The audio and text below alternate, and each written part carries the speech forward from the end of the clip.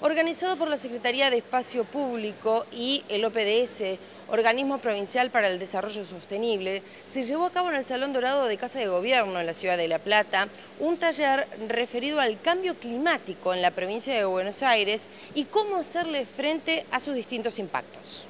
En el encuentro participaron distintos especialistas, el doctor Vicente Barros, experto en meteorología, el doctor Pablo Suárez, representando a la Cruz Roja, y por último, el licenciado Marcelo Reale, representando al OPDS. Todos dieron distintos puntos de vista sobre cómo abordar el tema del cambio climático. El cambio climático no es un problema del futuro, es un problema del presente. Ya está eh, ocurriendo eh, el desde 1960 es bastante evidente el aumento de la temperatura global.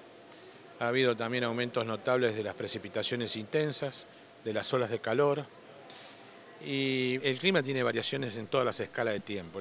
Hubo una primavera, si no es la pasada, la anterior, que fue bastante seca. Esta es una, eh, está asociada al fenómeno del niño. Pero en general este, lo que percibimos desde hace 40, 50 años es un aumento notable de las precipitaciones en casi todo el país, menos en la zona andina, que es al revés.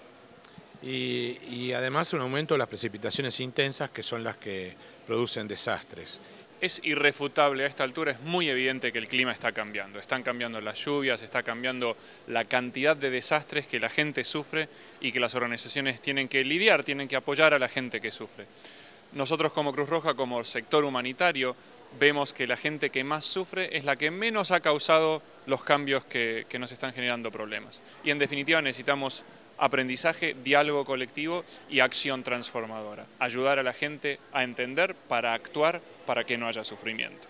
Desde el año 2007 que asume el gobernador Daniel Scioli, el tema medio ambiente fue un tema de agenda pública y justamente comenzó con la primera etapa, que es la concientización, que el otro comprenda la situación que se tiene y justamente lo que, eh, lo que se está velando no es simplemente por el ambiente, sino por la vida humana, digamos, cada uno de estos, eh, de estos eventos que son naturales, que son propias de la naturaleza y que van a tener una intensidad mayor en el, en el futuro, lo que estamos haciendo es proteger la vida humana, alertando a las personas de los fenómenos que se avecinan y también cuáles son las medidas de prevención que debemos tomar ante estos fenómenos. Desde el Salón Dorado de Casa de Gobierno en la Ciudad de La Plata, un informe de Verónica Lázaro para Canal 32.